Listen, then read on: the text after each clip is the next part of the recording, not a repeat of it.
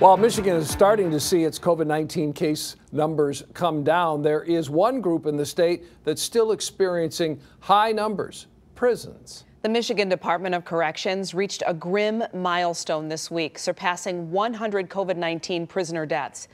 As of Wednesday, 103 people incarcerated at the state's 29 prisons have died since the pandemic began. Last week, the Michigan Department of Corrections reported 3,000 new COVID 19 cases among prisoners. So tonight, seven investigator Ross Jones looks into why the outbreaks keep happening. He said he hurts. He's tired. Um, he can't eat. He don't. He can't taste anything, and he can't smell. Last month, Doreen LaPerriere got the call she was dreading. Her son Eric had contracted COVID 19. They don't seem to care, you know, it's just, they're just a prisoner there. Sentenced last January for possession of under 25 grams of cocaine, Eric has been incarcerated for nearly a year.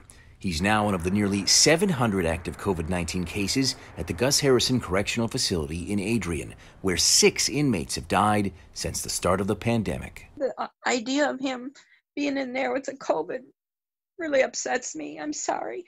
Close quarters and an already high prison population made the state's prison system a tinderbox for the virus. As of Thursday, 104 patients have died from COVID 19, and the MDOC estimates that 20,000, nearly half the state's inmates, have tested positive since March.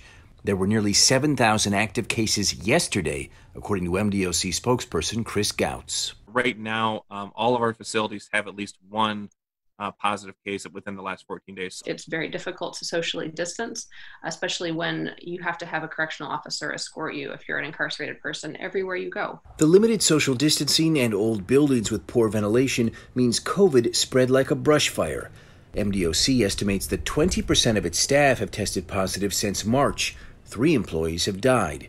Everyone is affected, according to Wanda Bertram of the Prison Policy Initiative. If you know someone who lives near a jail or near a prison, you know, or if you know someone with a loved one in prison, all of those people are more, you know, are, are put at greater risk of contracting this virus. The state has implemented changes since the start of the pandemic, like weekly testing at all prisons with at least one positive case. But still, cases rise. You know, all the best laid plans, all the best policies and procedures and isolating and cohorting prisoners by their COVID status. And you can have all those things in place, but then we also have to rely on uh, labs to get us results back. It's a lag in testing, but it also comes down to people. We have the highest incarceration rate of any country in the world. Attorneys and advocates like Bertram are pushing the state to send home as many people as possible. So far, the MDOC has released over 5,000 inmates who were parole eligible. Today, the state's prison population is the lowest that it's been in 30 years, but questions remain. There are only so many prisoners that we have any control over to, to release. Gautz says the state's parole board has considered every parole eligible inmate, and any further releases will require action taken by the state's legislature. The lawmakers uh, or, or advocates, if they're saying that we need to release more people, um, they should be talking to lawmakers to change the laws um, that would enable us to do that. He says that of the 104 prisoners who have died from COVID, at least half were serving life sentences.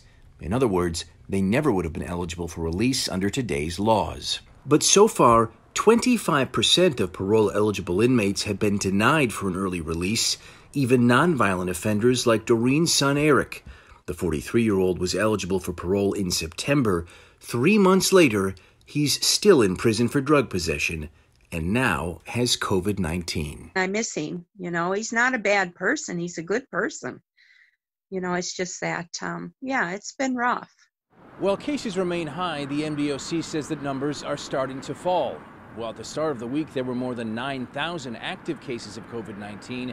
As of yesterday, those numbers fell to under 7,000. We're in Detroit tonight. I'm Ross Jones, 7 Action News.